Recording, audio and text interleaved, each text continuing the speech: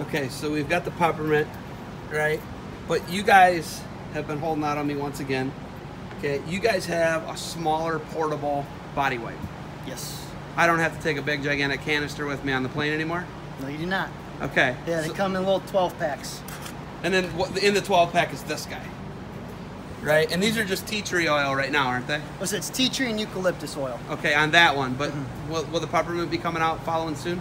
We gotta see. They, this company was kind of. We'll see how it works out.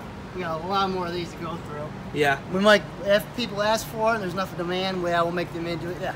It's Yeah. Individual. Prob- it's probably packaging. coming. Yeah, most likely. If I know you guys, it's coming. You guys are big into reinvestment into things. Um, when you look at it though, uh, being able to take that compared to the big gigantic ca- canister with you, you know, when you fly and stuff like that, it's actually Flying and then camping. People are complaining that when they're camping, the canisters are either popping open or just didn't fit in their bags. This one, they could just throw one or two in their bag and they're good for their trip.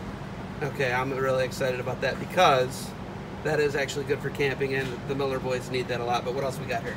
We got a little sample of our healing salve.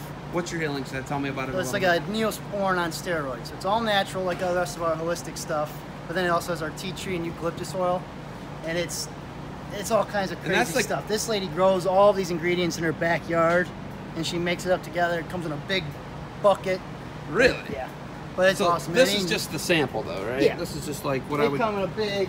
We got the one ounce tube. Oh, we got the one ounce. Okay, so there's a mm-hmm. one ounce tube, and that would be like a better for you Neosporin. Yeah, so it's gonna be mat burns, cuts, scrapes, anything like that. Because you want to keep that clean. That's where infections are gonna grow. You get an open wound, Staph. something that's acceptable there. I mean, yeah. staph. Exactly. It's crazy. Mm-hmm. Like people don't understand. Staph can kill you. Yes. I don't think people understand it, but yeah, yeah. That we're gonna we're gonna yeah we're gonna we're gonna field test that at the Millers too. Okay, we're gonna make it happen for you guys here. All right, we'll be your guinea pigs. Perfect.